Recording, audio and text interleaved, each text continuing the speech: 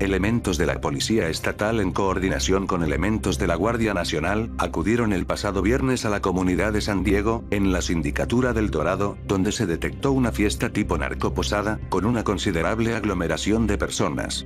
Cuando esta fue interrumpida por las autoridades, se supo que sus organizadores fueron parientes del Chapo Guzmán. En el operativo se aseguraron una cantidad de vehículos, los cuales serían rifados en dicha fiesta. Según testigos decenas de regalos portaban las siglas JGL. El secretario de Seguridad Pública del Estado, Cristóbal Castañeda Camarillo, dio a conocer que mediante información captada por redes sociales, se conoció que en la sindicatura de El Dorado, se celebraba una fiesta multitudinaria, por lo que se implementó un operativo con fuerzas federales. Camarillo explicó que no hubieron personas detenidas, ya que la celebración de fiestas no está prohibida, solo se aseguraron siete vehículos de recientes modelos, que fueron abandonados en el lugar.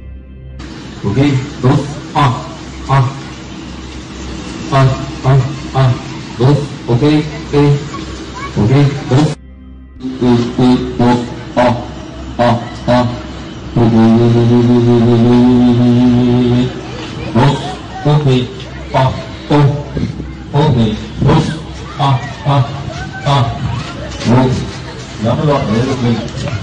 我三三六九二五五八。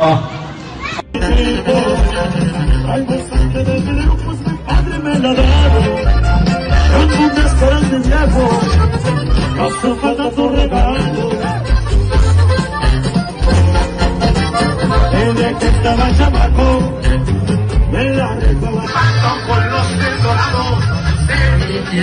Amen.